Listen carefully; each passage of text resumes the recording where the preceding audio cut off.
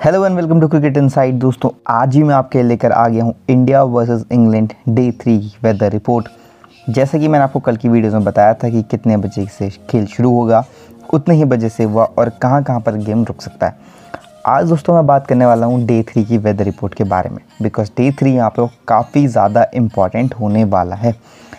इसका कारण यह है कि बिकॉज़ ये मूविंग डे होता है डे थ्री और जो टीम इस डे को जीतती है, वो यहाँ पे को टेस्ट मैच में आगे निकल जाती है। तो चलिए दोस्तों, देख लेते हैं डे थ्री की वेदर रिपोर्ट बट उससे पहले दोस्तों, मैं बता दूँ, कल इंग्लैंड की पारी आई। इंग्लैंड ने यहाँ पे एक सौ उन्नीस रन मारकर तीन विकेट उनके चले गए अभी भी इंग्लैंड यहाँ पे को 245 रनों से ट्रेल कर रहा है। चलिए दोस्तों बात कर लेते हैं यहाँ पर वेदर रिपोर्ट के बारे में। अगर हम दोस्तों स्टार्टिंग से शुरुआत करें सो स्टार्टिंग में थोड़ा सा मौसम ख़राब है।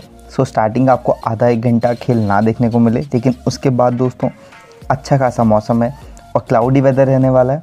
वेदर उतना ख़राब नहीं होगा बट ओवरकास्ट कंडीशन ज़रूर होंगी।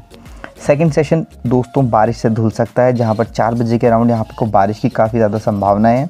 उसके बाद, दोस्तों, कुछ भी नहीं है। और जब हम यहाँ पे लास्ट सेशन में आते हैं लास्ट के एक घंटे या लास्ट के डेढ़ घंटे पर आपको बारिश होते हुए दिख सकती है, जिसका मतलब ये है कि मिनिमम ऑफ़ कम से कम 20-30 ओवर्स आज भी ख़राब हो सकते हैं बारिश के चलते। बिकॉज़ सेकेंड और थर्ड सेशन में बारिश की संभावनाएँ काफ़ी ज़्यादा हैं। यह है दोस्तों आज की वेदर रिपोर्ट लॉट से। आई होप आपको वीडियो पसंद आया होगा। अगर आपको दोस्तों वीडियो पसंद आया तो उस वीडियो को लाइक ज़रूर करना। चैनल पर नए हो तो चैनल को सब्सक्राइब ज़रूर करना। धन्यवाद।